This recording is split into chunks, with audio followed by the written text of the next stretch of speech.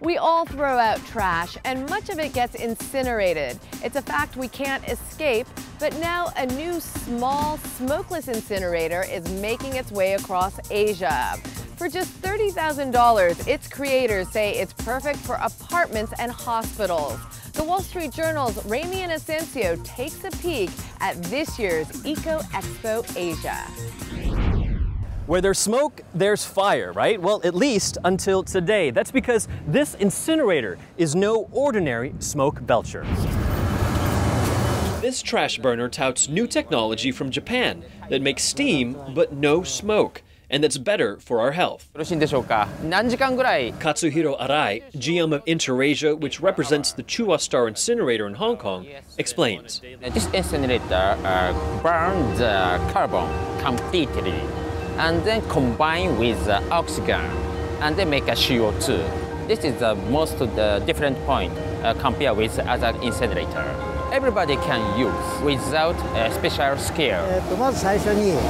First, waste, including plastic, wood, or tires, is thrown in the fire. The on button gets punched, then the fire gets going, while water pumped inside the shell keeps it from getting too hot. The fan pulls the air into the second chamber. Ash gets sucked down, filtered air rises out. Now, is it safe for me or for you to put your face over that exhaust? Of course can. And for how long? How long? Oh, not all day. Uh, a few minutes. And other shortfalls exist. This incinerator doesn't produce electricity, while others can. And incinerators still leave ash behind. With Hong Kong expected to run out of landfill in the next few years, that is a problem.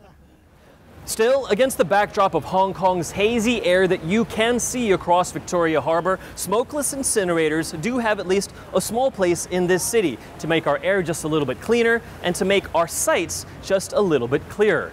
And the city needs it. For the first half of 2013, Hong Kong's air pollution exceeded World Health Organization guidelines at every single monitoring station except one, according to Hong Kong's Clean Air Network. Pollutants include sulfur dioxide, nitrogen dioxide, ozone, and particulate matter less than 2.5 microns in diameter. All those led to more than 1,600 premature deaths, more than 3.5 million extra doctor visits, and nearly $2.5 billion lost, according to Hong Kong's Hedley Environmental Index. The time is right for smokeless incineration, says Arai. Hong Kong citizens, Chinese people also, they have a concern about the air pollution. So this time we would like to contribute to prevent the air pollution more in Hong Kong air. And demand for cleaner air also lies in mainland China, just about 20 miles to the north, with all of its countless industrial factories. Now, Chuwastar says it's only sold three smokeless incinerators to date. That means they're going to be needing a lot more of those, and we are going to be needing a lot more of these in the meantime.